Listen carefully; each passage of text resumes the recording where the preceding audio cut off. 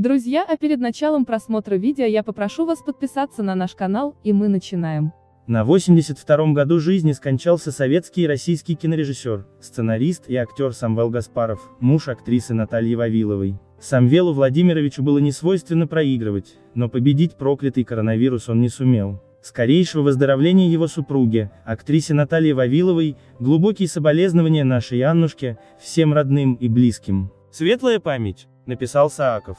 Он родился 7 июня 1938 года в Тбилиси. В 1970-м окончил режиссерский факультет в ГИКа, мастерская М. Рома. Участвовал на съемках фильма Тенгиза Абуладзе «Ожерелье для моей любимой». Далее был режиссером Одесской киностудии к СТИМ М. Горького. Самвел Гаспаров снял популярные фильмы «Шестой», «Забудьте слово смерть», «Хлеб», «Золото», «Наган» без особого риска. Ушел из жизни 26 мая 2020 года в Друзья, подписывайте на наш канал, чтобы не пропускать наши новые выпуски и на этом мы с вами прощаемся, всем пока.